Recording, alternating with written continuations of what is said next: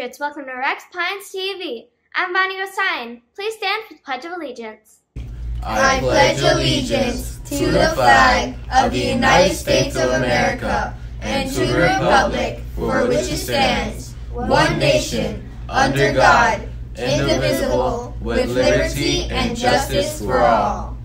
And now for our school mission statement. We the Patriots achieve greatness through high expectations, passion, and perseverance.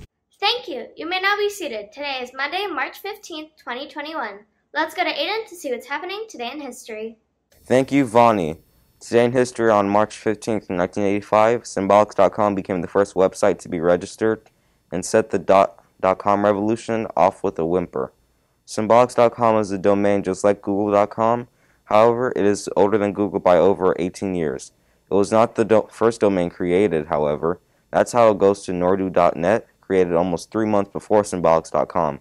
Now let's go to Chris for the sports highlight. Thank you, Aiden. Today's sports highlights are presented to you by the Patriots.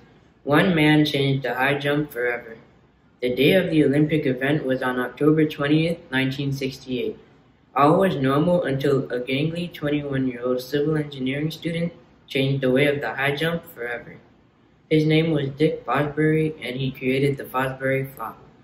It may seem normal to your eyes now, but in 1968 it was revolutionary. The Fosbury Flop is where a jumper arches his or her back so their center of gravity can stay below the bar, even as the body sailed over it. Now let's go to Annalicia to see what's for lunch. Thank you, Chris. Today's lunch is popcorn chicken, baked beans, sunsplash veggie juice, applesauce, barbecue sauce, and milk. Bon appetit. Now let's get back to Sonia for our National Week segment. Thank you, Annalicia. Good morning, Patriots. This week is National Button Week. This week brings recognition to the little wonders that keep our clothes intact. Buttons are very useful and great for not only clothes but for collecting as well. Due to the plethora of colors and variety of shapes and sizes, they typically draw attention from collectors. Did you know that the oldest button discovered was made of a carved shell over 5,000 years ago? Buttons have been around for a long time and don't seem to be going anywhere. Happy National Button Week. Let's go back to Bonnie. Thank you, Sonia. Scholars, March Madness is over and we have our winner. Again, you all did an amazing job, and we are proud of you. And now let's reveal the winning teacher. The winner of the iReady March Madness Challenge is... Patriots, be sure to congratulate her and her students when you see them in the hallway today. Patriots, join us this Wednesday, March 17th from 4 p.m. through 9 p.m. at MOD Pizza.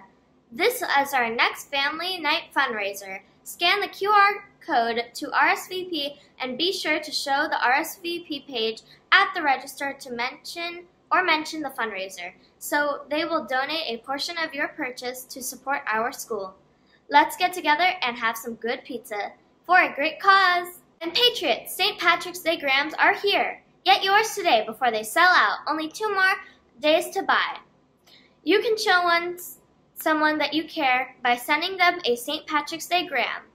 Get one of these awesome gift packages for only $3 and $5.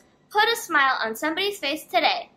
Grams will be delivered to your friends on Wednesday, March 17th, and the last day to buy them is tomorrow, Tuesday, March 16th.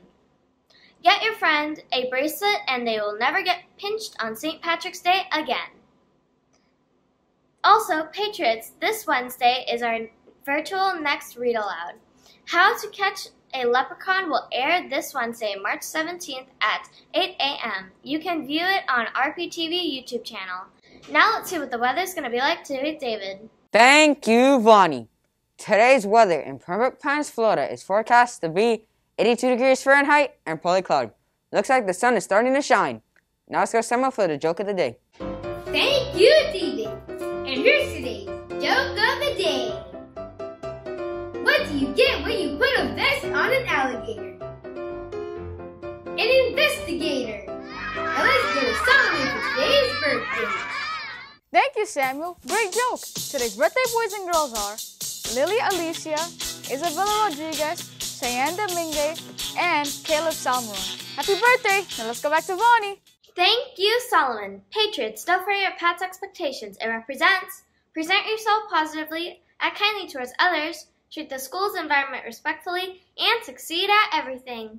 Congrats to Miss Santi Esteban, Miss E.M. Danquat, Miss Escher, Miss Cara, Miss Cavalita, Miss Yearwood, Miss Barrow, Miss Gilbert, Miss Dragg, Miss Clergy, Miss Stone, Miss Kane, Miss Blanco, Miss Milholm, Miss Julian, Miss Hendrickson, Miss Freeman, Miss Samuel, Miss Anaya, and Miss Mraz. You had the correct answer to yesterday's riddle, which was, you can see me in water, but I never get wet. What am I?